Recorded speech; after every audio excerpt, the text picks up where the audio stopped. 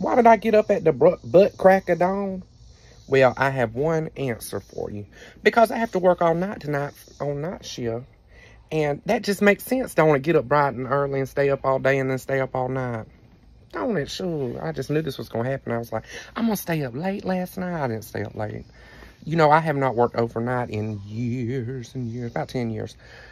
And I know my sleepy tail self gonna be trying my best to stay awake tonight. I'm gonna have so many energy drinks.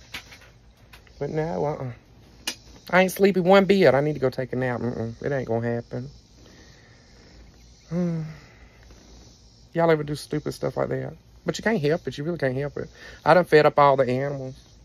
They fat, full, and hungry. No, that was wrong. Fat, full, and happy. Anyway, I don't know.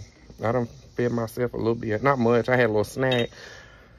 I'm just sitting here thinking about how tonight's going to go. It's going to go sleepily. Sleepily. That's how it's going to go. Bye, Shul.